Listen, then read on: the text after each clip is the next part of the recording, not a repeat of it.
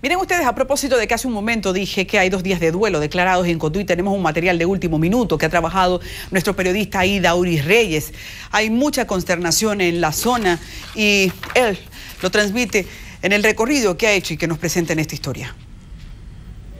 El dolor tocó en esta oportunidad al municipio de Cotuí por la pérdida de seis jóvenes que se accidentaron y trágicamente perdieron la vida. Las víctimas fueron identificadas como Susana de la Cruz Mora, John David Osuna, Raicelis Acosta, Luis Miguel Farías y los hermanos Joel y Cristian Lora Robles. Todos resultaron muertos al caer en un canal de riego en Arenoso de Villarriba mientras se dirigían hacia una playa. En medio de tristeza y dolor, los familiares de estas víctimas lamentaron la falta de intervención de las vías de comunicación del país por parte de las autoridades. A donde quiera que iban, iban juntos.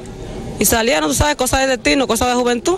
Salieron toditos juntos, no se sabe si fue para Nagua, para dónde fue. Eran seis. Sabe, ahí en ese puente hay muchas, se han matado muchísima gente y ellos se olvidan de eso. ¿Cuál es el llamado que usted hace? Bueno, yo le hago a la, llamado a la autoridad que yo le hago, que tienen que poner carta en el asunto con eso. Entre tanto, el ayuntamiento de Cotuí declaró mediante resolución dos días de duelo municipal por este trágico hecho. Los restos de las seis personas fallecidas fueron sepultados esta tarde en el cementerio municipal de esta localidad.